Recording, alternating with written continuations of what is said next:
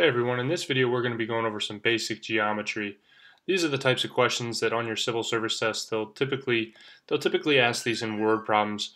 Questions that'll say something to the effect of, you know, you you're doing overhaul in a room in a living room that has that's this many feet by this many feet. What is the area of this room or you have a tank of water that holds this many gallons or it's these dimensions. Figure out the volume. So these questions aren't too difficult. The most difficult part about these is knowing the formulas. So if you look on the sheet of questions that goes with this, I have an entire page of formulas that you'll need to know. So we'll start out with the first ones and what I'll do is I'll just kind of go over what the different things mean and then when we'll get into we'll get into actual practice problems later on in this video. But as you see there in the very first one it has the square and rectangle. Underneath that so square and rectangle. A is asking for area.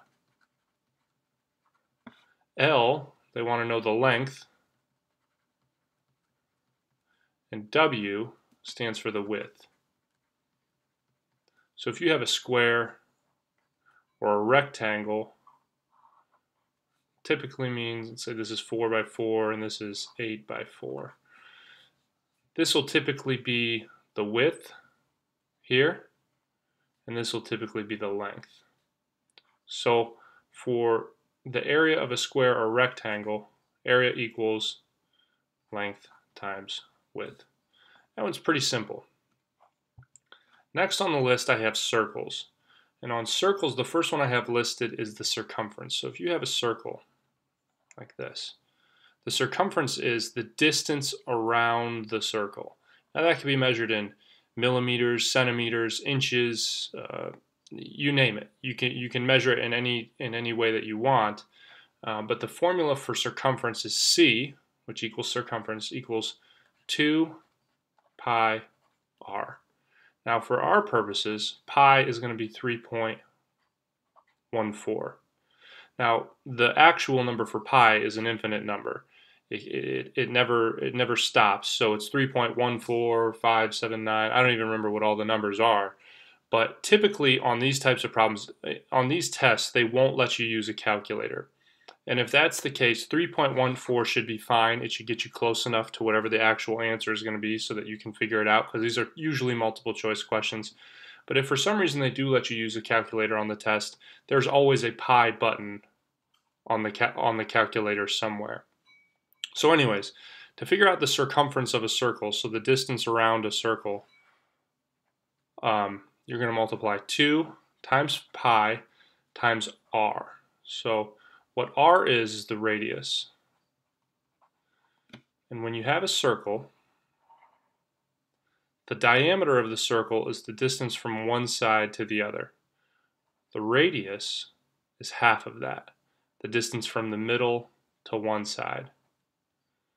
Okay, so to figure that out, let's say mm-hmm. the diameter of this circle is 6, the radius will obviously be 3. So to figure out circumference, c equals 2 times pi times 3. Okay, also pretty simple. Now when we're getting into area, they might ask you what the area of a circle is, and you'll need to know that later on when we get into volume of, of cones and cylinders and things like that. But to figure out the area of a circle, so the area again, they're going to be asking, what's the amount of space all in here? Very similar. A equals area times pi. So A equals pi, which for our purposes is 3.14 times r squared. So again, r is the radius. So let's say let's say you have a circle. We'll use the same example as last time, and the radius is 3. So the area is going to equal pi times 3 squared. 3 times 3 is 9.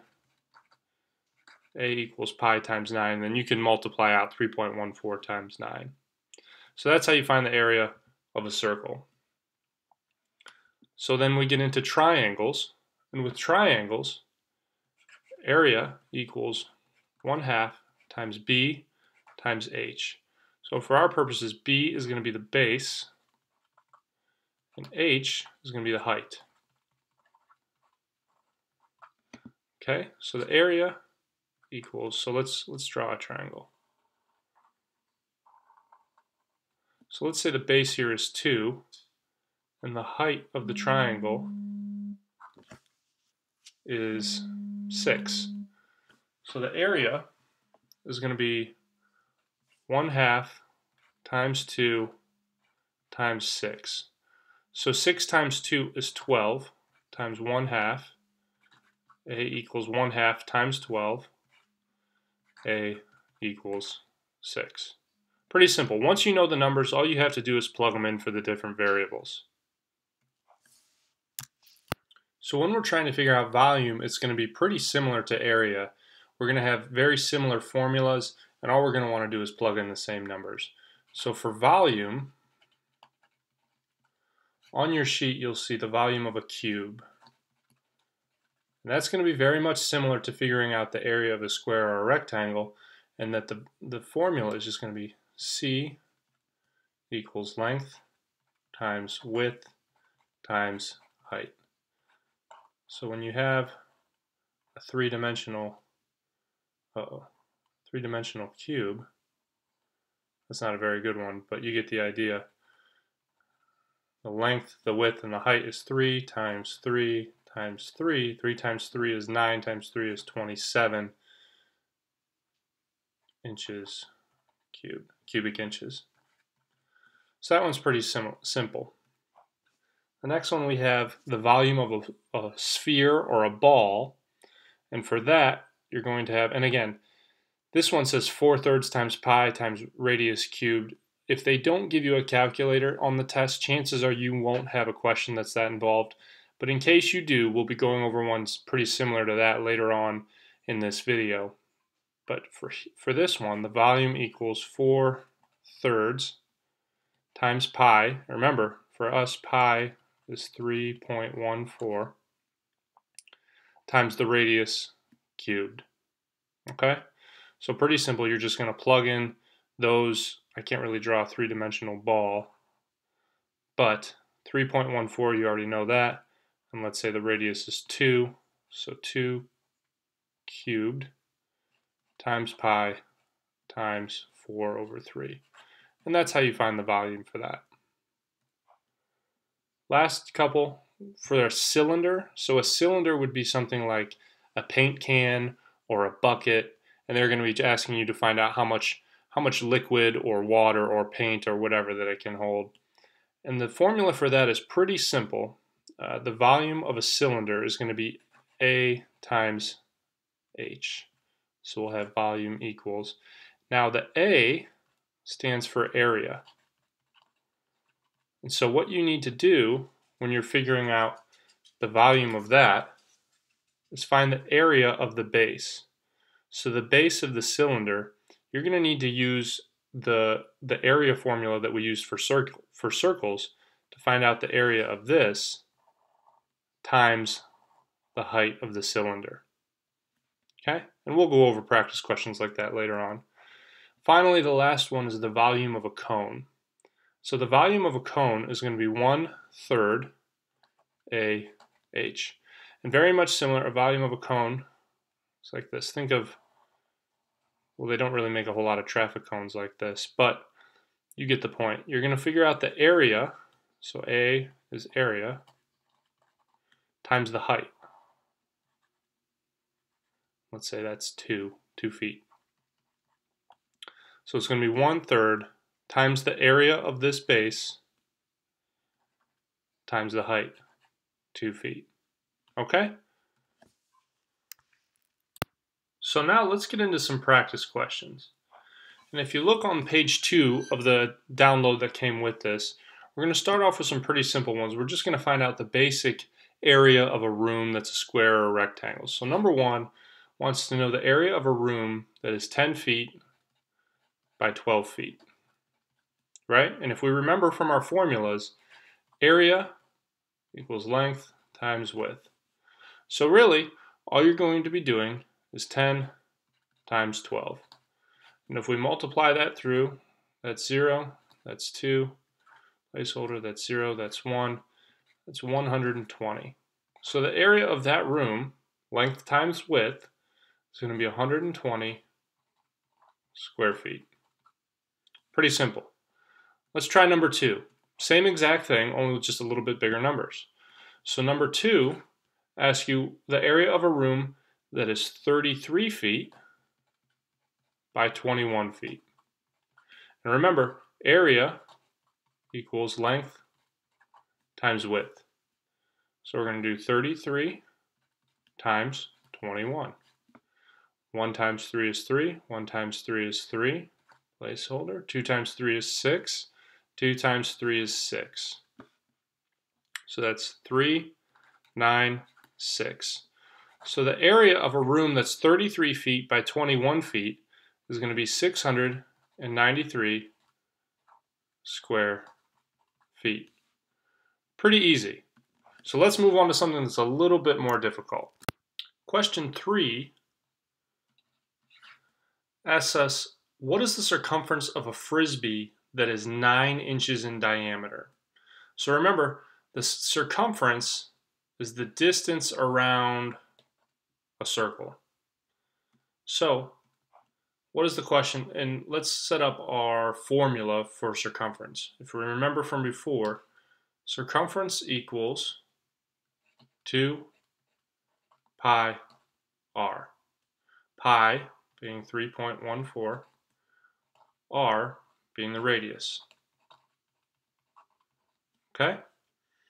So for circumference, we have a frisbee It's a pretty good circle for freehand. And they say it's nine inches in diameter. So from here, it's nine inches from one end to the other. But if we remember, they want to know the radius. And what's a radius? A radius is half of the diameter. So a radius is the distance, whatever half of the diameter is. So this, the distance from the center of the circle to one of the edges is the radius. So if we know it's 9 inches across, a radius is always equal to half of the diameter.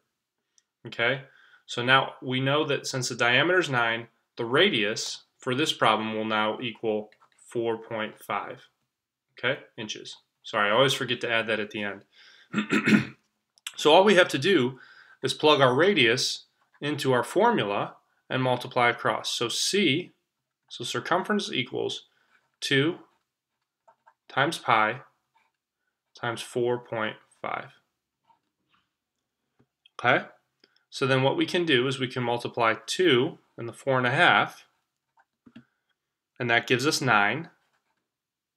And then 9 times pi, and I'm not going to go through the multiplication, but it's 3.14 times 9 that will end up equaling 28.26 inches.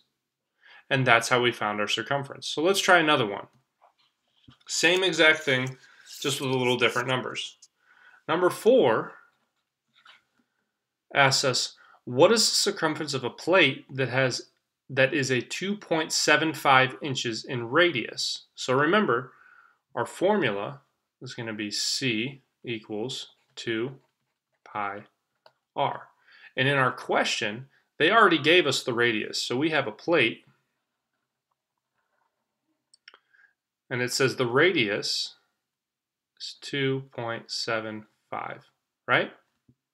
So all we have to do is plug in the numbers and multiply it through. So we'll do 2 times pi times 2.75 and what we can do is we can multi multiply the 2 and the 2.75, and that equals 5.5.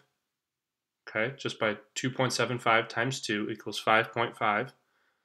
And then we have 5.5 times pi, which again is 3.14 times 5.5. And that final answer is going to be 17.27.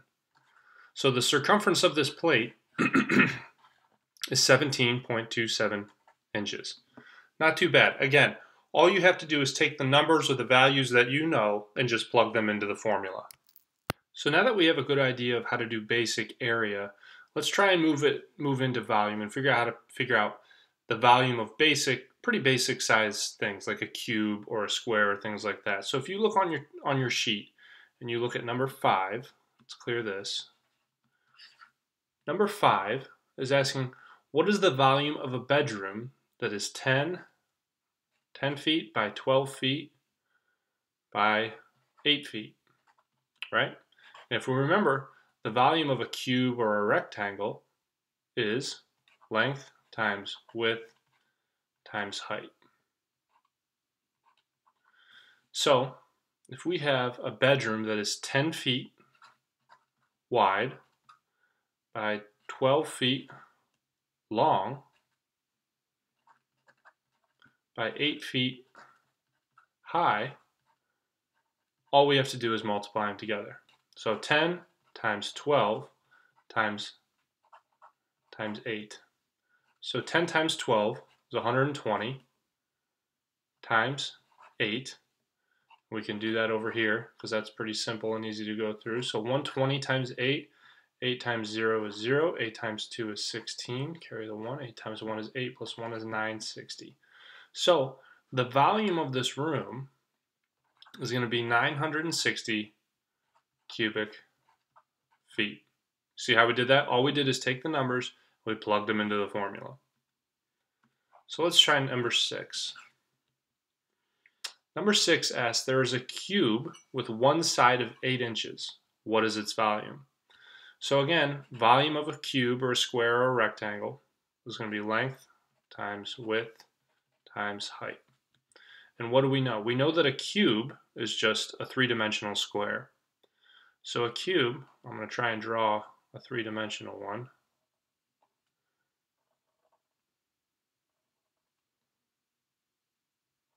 Let's see.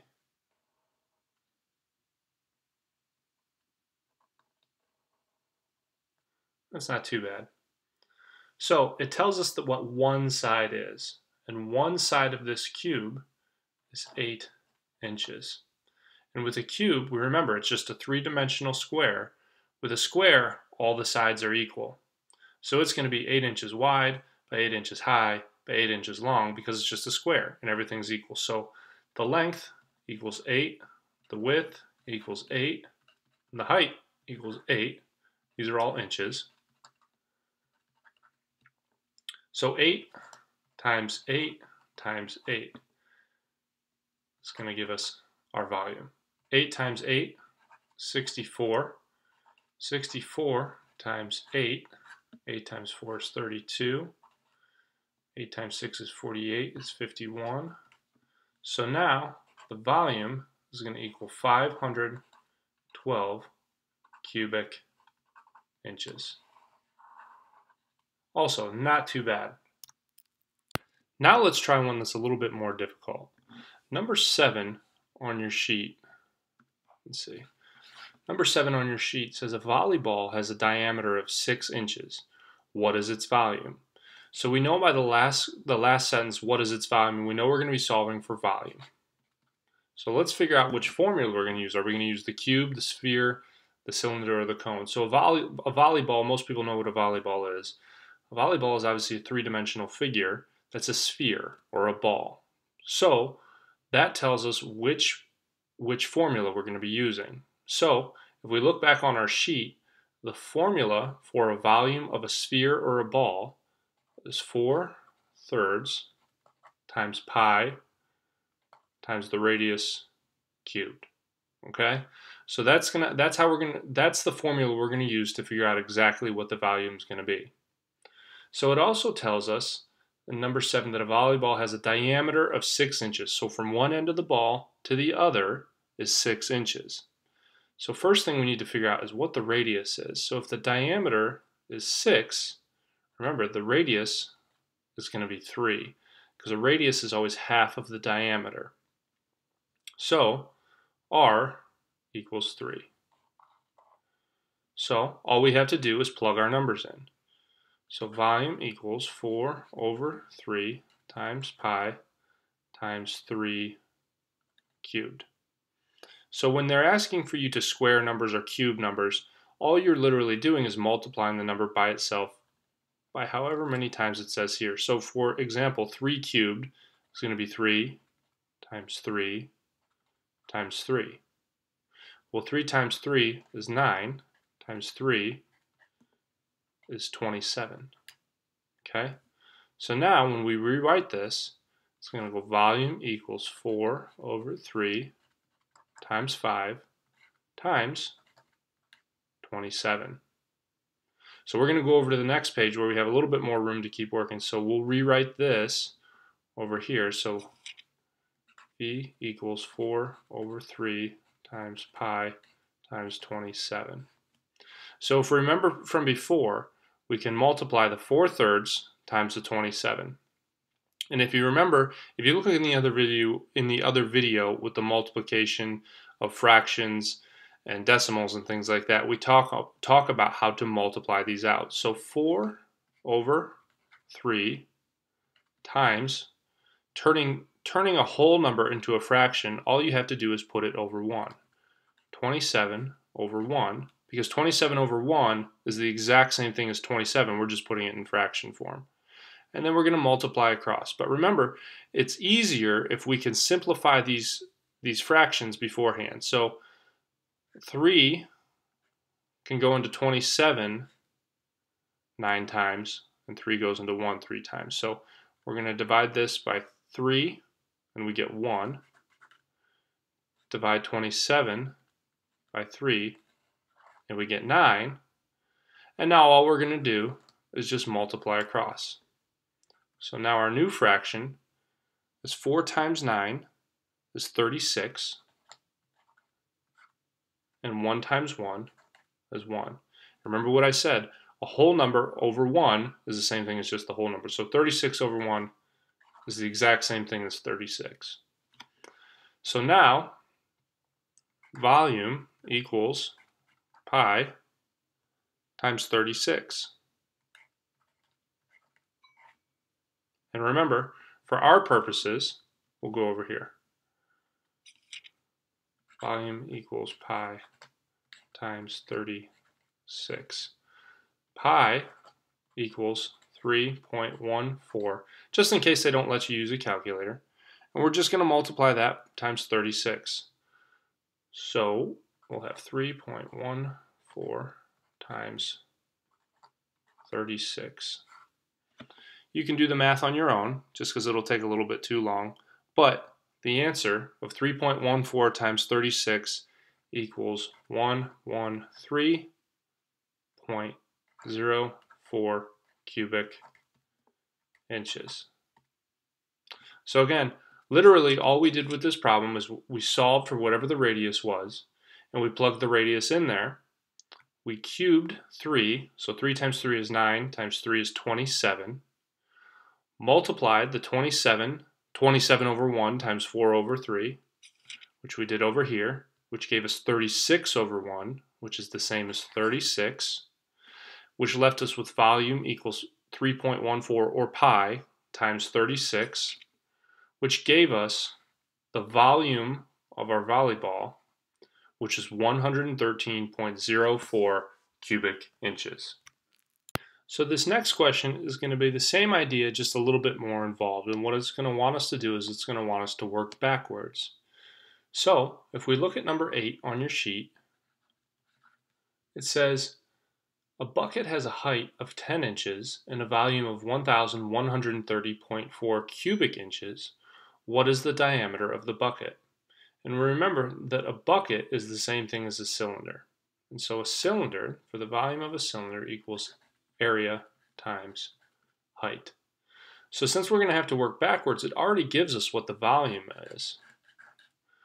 So let's just plug those numbers in. The volume is 1130.4, which is equal to, it doesn't give us the area, but it does give us the height of 10 inches. So, what do we need to do? We need to solve for the area. So what we'll do is we'll divide by 10 on both sides to get the, to isolate the A. And 1130.4 divided by 10 is going to give us a equals 113.04 Okay, so now we're solving for the area. We're trying to figure out the area or the base of that bucket. What's going to be the area of that circle? So now, let's go over to the next page. We know area is 113.04. And now we need to solve A equals pi times the radius squared. That's going to be our formula we're going to plug A into. So now we have 113.04 equals pi r squared.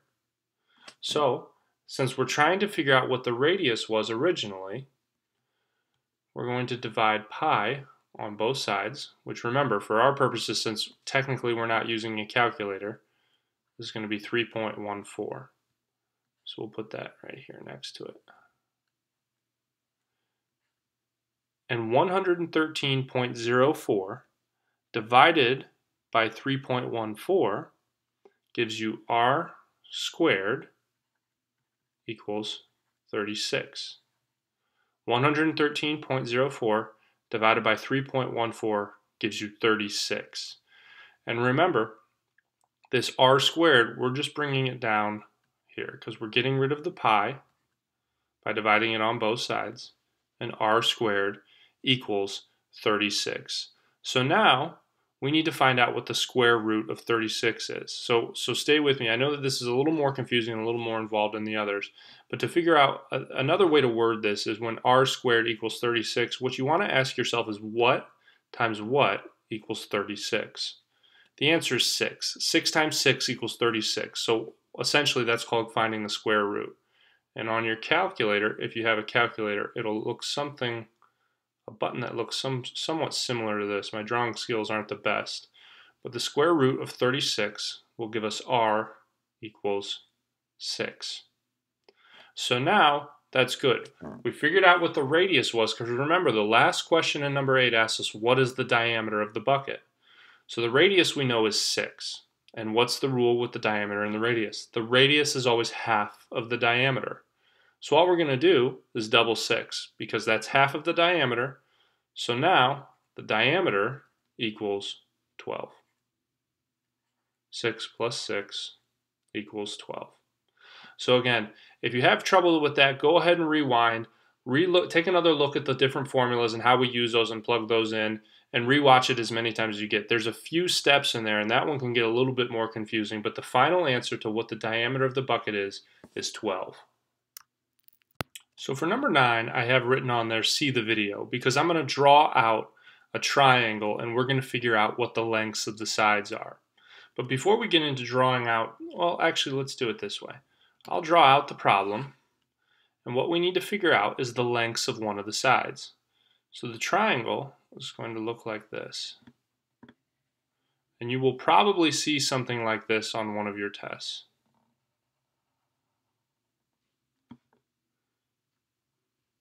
So if that's our triangle, and we have one side is 6, and one side is 10, let's use inches. One side's 6 inches, one side's 10 inches, but this wants us to solve for x.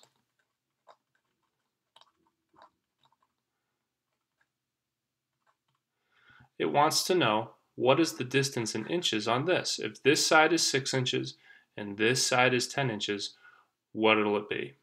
So if you look back on your formula sheet, you see something called the Pythagorean theorem. The Pythagorean theorem is a squared plus b squared equals c squared. Okay? And what that what that is is those are the three different sides of a triangle. So all we have to do is plug these numbers in.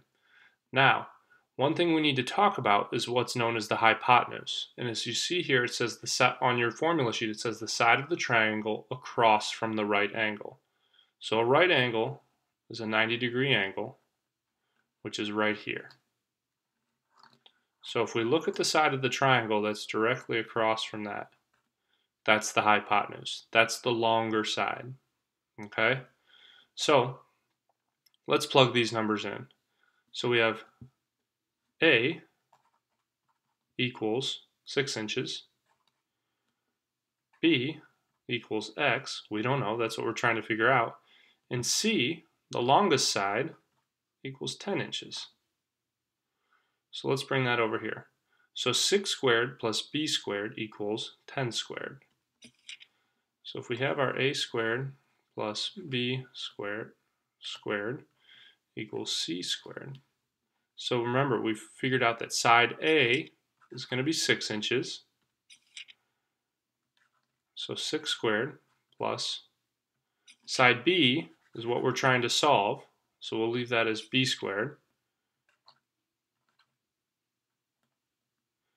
equals side C, which is the hypotenuse, the side across from the right angle is 10 squared equals 10 squared. So now, remember, when we're squaring, think of it as 6 times 6 or 10 times 10. So 6 times 6 is 36 plus, pen's not working, b squared equals 10 times 10 is 100. Okay? So now, let's simplify this equation. We'll subtract 36 from both sides so we can get b all by itself, minus 36. 100 minus 36 is going to be 64. So now, b squared equals 64. Now what we need to do is we need to find out the square root of 64. And if they give you a calculator, it's easy. All you do is you hit the button that looks kind of like this and um, it'll tell you. But if they don't give you a calculator, the easier way that I can think of it is what times what equals 64? Well, 8 times 8 equals 64. So the square root of 64 equals 8. Okay? So now b equals 8. Make sense? Like I say with all these problems, if you if if we went over that too quickly or you missed something, feel free to rewind.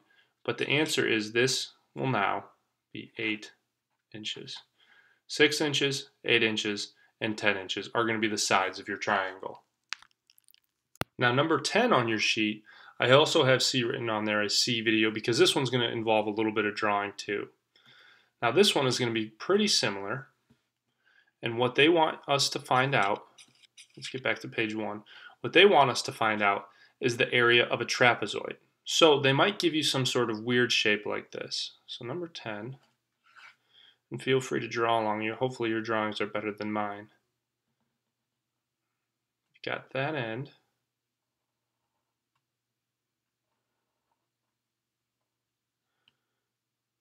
Then we have this end. And they'll give you a shape that looks something like this with two triangles on either side that are that aren't exactly um, the same, but just different dimensions. So let's say this is one inch. All of these will be in inches. Actually, let's erase that. That's hard to read. So this is one. The side of this rectangle, in this middle rectangle, the side of this rectangle is going to be 10. Remember, we're working in inches The side of the top, this top of the triangle is going to be 10. The height of this rectangle is going to be 6. And then the wall of this triangle is going to be, let's say, 4. Okay? So what we need to do is, as you can see, we have two triangles. One out here. Let's use a highlighter. Let's see how this looks. We have a triangle here. and we have a triangle here. And then in the middle, let's use let's use light blue. We have a rectangle. And so when you get a question like this and they want you to figure out what the area is, what you need to do is you need to do three separate problems and figure out what the area of all three shapes are. So triangle 1, so let's go back to the pen. So what they want you to, we'll call this triangle 1, T1. We'll call this rectangle, and we'll call this T2. So the easiest one to do is the area of a rectangle. If you look back on your sheet, if you can't remember, area is length times width. So we see that the length, or the width, either one, is 10 times 6. So the rectangle equals 10 times 6. That's going to give us an area of 60 square inches. Remember, we're using inches. I'm just not going to write it on every single number. So square inches. Triangle 1, let's say this one. Remember, the formula for this is 1 half times the base times the height. So this is the base of this triangle right here. And the height is 6. We already know that because it's the same height as this rectangle. So if we plug in the numbers, t1 equals 1 half times 4 times the height, which is 6. Remember, we just got that from there. The base is 4, the height is 6. 6 times 4 is 24 times 1 half equals 12. So the area for T1, that's an R, sorry. The area for triangle 1 over here is 12 square inches. Okay? And then we'll move over, uh, we could probably squeeze it in here. It's going to be the exact same thing for triangle 2. Triangle 2 is going to be 1 half times the base, in this case, which is 1, just this little area right here, times 6. That's the height, right? Because it's the same height as the rectangle. Exact same thing we did with triangle 1. So 6 times 1 is 6 times 1 half equals 3. So the area of triangle 2 is 3 square inches. Okay? So now to figure out the area of all these, all we have to do is add up the areas of each individual one. The rectangle, triangle 1, and triangle 2. So we have 60 square inches. We'll go over here. 60 square inches plus 12 square inches plus 3 square inches. So this is rectangle, this is T1, this is T2. So 60 times 12 is 72 square inches plus 3 square inches. 72 plus 3 is 75 square inches. And that is going to be our area. Because remember, we were solving for area of this trapezoid. And so that's going to be our final answer. Final answer to the area of all of these is going to be 75 square inches. So as you can see, the key to all this is just knowing your formulas. As long as you know your formulas, it shouldn't be that difficult. It's usually just basic addition or subtraction or multiplication or division. So for our last question on our sheet, number 11, this is by far going to be the toughest one, but we can get through it. Number 11 says the tire on engine 5 can roll 188.4 feet in 30 revolutions. What is the radius of the tire in inches? Now this one's tough because it's telling us how far it can roll in feet, but it's asking for inches. So if the tire can, first thing we need to do is convert, convert everything to inches. If it says right there that 188.4 feet in 30 revolutions, what is the radius of the tire in inches? Let's convert those feet to inches. We all know that there's 12 inches in one foot. So we'll take the 188.4 feet times 12, since we know that there's 12 inches in each one of those each one of those feet, and that's going to give us 2,260.8 inches. So 2260.8 inches. That is the equivalent, again, in case you miss it, of 188.4 feet is the same as 2,260.8 inches. Okay, and all we did there was multiply it by 12.